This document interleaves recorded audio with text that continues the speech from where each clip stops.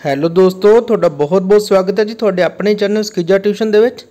ਸਭ ਤੋਂ ਪਹਿਲਾਂ ਤੁਹਾਨੂੰ ਮੈਂ ਦੱਸ ਦਿਆਂ ਜੀ, ਜਿਹੜੇ ਵੀ ਕੈਂਡੀਡੇਟ ਨੇ ਬੀਐਡ ਦਾ ਮਾਸਟਰ ਕਾਡਰ ਦੇਣਾ ਜਾਂ ਈਟੀਟੀ ਦਾ ਸੈਕੰਡ ਐਗਜ਼ਾਮ ਦੇਣਾ, ਤਾਂ ਜਰੂਰ ਜਿਹੜਾ ਆਪਣਾ ਟੈਲੀਗ੍ਰਾਮ ਗਰੁੱਪ ਹੈ ਸਕੀਜਾ ਟਿਊਸ਼ਨ ਦਾ, ਉਹਦੇ ਨਾਲ ਜੁੜੋ। ਉਹਦੇ ਵਿੱਚ ਡੇਲੀ ਕੁਐਸਚਨਸ ਆਉਂਦੇ ਰਹਿੰਦੇ ਪੀਡੀਐਫ ਫਾਈਲਸ ਆਉਂਦੀਆਂ ਰਹਿੰਦੀਆਂ, ਹੋਰ ਵੀ ਇੰਪੋਰਟੈਂਟ ਜਿਹੜੀ ਇਨਫੋਰਮੇਸ਼ਨ ਹੁੰਦੀ ਹੈ ਉਹਦੇ ਵਿੱਚ ਆਉਂਦੀ ਰਹਿੰਦੀ ਹੈ। ਤਾਂ ਤੁਹਾਨੂੰ ਦੱਸ ਦਈਏ ਜੀ ਸਾਡੇ ਕੋਲ ਨੋਟਸ ਆਇਆ, ਜਿਹੜਾ ਕਿ ਤੁਹਾਡੀ ਸਕਰੀਨ ਤੇ ਹੈ।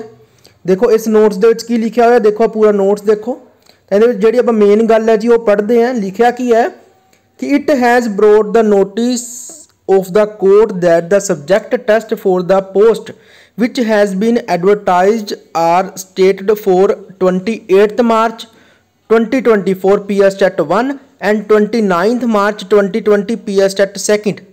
At this stage, counsel for the state on instruction from Mr. Tirath Ram legal assistant education department Punjab submit that the date of test for the post in questions have been postponed to 25 and 26th of April 2020 respectively ਮਤਲਬ ਕੀ ਲਿਖਿਆ ਹੋਇਆ ਕਿ 25 ਅਪ੍ਰੈਲ ਨੂੰ ਜਿਹੜਾ PS TET 1 ਤੇ 26 ਅਪ੍ਰੈਲ ਨੂੰ ਜਿਹੜਾ ਪੀਐਸ ਟੈਟ 2 ਦਾ ਐਗਜ਼ਾਮ ਹੋਣਾ ਜਿਹੜਾ ਇਹਦੇ ਵਿੱਚ ਦੱਸਿਆ ਗਿਆ ਕਿ ਜਿਹੜੀਆਂ ਡੇਟਸ ਹੈ ਉਹ ਪੋਸਟਪੋਨਡ ਹੋ ਚੁੱਕੀਆਂ ਜਿਹੜਾ 28 ਮਾਰਚ ਨੂੰ ਐਗਜ਼ਾਮ ਲੈਣਾ ਸੀ, ਉਹ 25 ਅਪ੍ਰੈਲ ਨੂੰ ਹੋ ਚੁੱਕਿਆ ਹੈ। ਜਿਹੜਾ 29 ਮਾਰਚ ਨੂੰ ਐਗਜ਼ਾਮ ਲੈਣਾ ਸੀ, ਉਹ 26 ਅਪ੍ਰੈਲ ਨੂੰ ਹੋ ਚੁੱਕਿਆ ਹੈ।